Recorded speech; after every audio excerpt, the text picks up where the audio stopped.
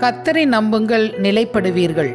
கத்தருடைய நாமம் மைமைப்படுவதாக கத்தருடைய பிள்ளைகளே வருகிற ஏப்ரல் மாதம் ஆறாம் தேதி நம்முடைய தேசத்தில் தேர்தல் நடக்க இருப்பதை நாம் அனைவருமே நன்கு அறிந்திருக்கிறோம். இந்த இடைப்பட்ட காலத்தில் கிறிஸ்தவர்களாகிய நாம் நல்ல ஆட்சி அமைய தேவனுக்கு பிரியமான நிலையான ஆட்சி ஏற்பட அவசரகால ஜெபமாக நாம் நினைத்து ஜெபிக்க வேண்டும். இனி வருகிற ஐந்து ஆண்டு கால ஆட்சி சிறப்பாக அமைய வேண்டுமானால் கிறிஸ்தவர்கள் ஒவ்வொருவரின் முழங்கால்களும் முடக்கப்பட வேண்டும். தேசத்தில் மாற்றம் ஏற்பட மதவாத கட்சிகள் ஆட்சிக்கு வராமல் தடை செய்யப்பட நம்முடைய ஊக்கமான திறப்பின் ஜெபம் மிகவும் அவசியம். பழைய ஏற்பாட்டு காலங்களில் தேவனுக்கு பயந்து அவருடைய கற்பனைகளை கட்டளைகளை கை கொண்டவர்கள் தேவனோடு பேசுகிறவர்கள் தான் ராஜாக்களாக தலைவர்களாக ஏற்படுத்தப்பட்டு யூதா கோத்திரம் இஸ்ரவேல் கோத்திரம் என்று இரண்டு கோத்திரங்களை ஆட்சி செய்து தேவனிடம் ஆலோசனை கேட்டு தேசத்தின் ஜனங்களை வழிநடத்தினார்கள். பிறகு நியாயாதிபதிகள் எழும்பினார்கள்.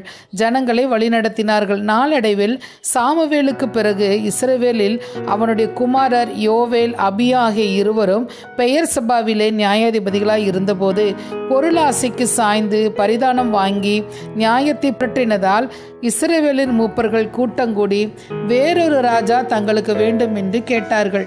சாமுவேலுக்கு இந்த காரியம் தகாததாய் காணப்பட்டு தேவனிடம் விசாரிக்கிறார். தேவனும் ஜனங்கள் உன்னை தள்ளவில்லை. நான் அவர்களை ஆளாதபடிக்கு என்னை தள்ளினார்கள் என்று சொல்லிவிட்டு அவர்கள் சொல்லை கேள். ஆனால் அவர்களை ஆளும் ராஜாவின் காரியம் எப்படி இருக்கும் என்பதை திடசாட்சியாய் அவர் சொல்லும்படி சொன்னார்.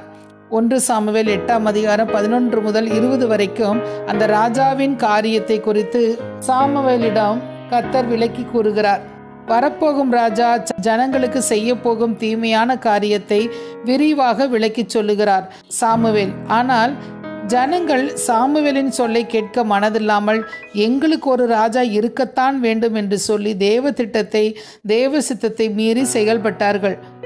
முடிவு எப்படி இருந்தது தெரியுமா? சவுலின் காரியத்தை பார்க்கும்போது அமலேக்கரை முறியடித்த பின்பு ஜனங்களையும் எல்லாவற்றையும் ஆகாக்கையும் சங்கரிக்க கத்தர் சவுலுக்கு சாமுவேல் மூலமாக சொல்லி இருந்தார் ஆனால் சவுலோ ஆகாகையும் முதல் தரமானவைகளையும் ஆடு மாடுகளையும் இரண்டாம் தரமானவைகளையும் ஆட்டுக்குட்டிகளையும் நலமான எல்லாவற்றையும் அழித்து போட மனதில்லாமல் தப்ப வைத்துவிட்டு அற்பமானவைகளையும் ஒன்றுக்கும் உதவாதவைகளுமானவற்றை அழித்து போட்டான். இந்த காரியம் கத்தருக்கு விசனமாய் இருந்தபடியால் சவுலை ராஜ்யபாரத்தை விட்டு தள்ளினார்.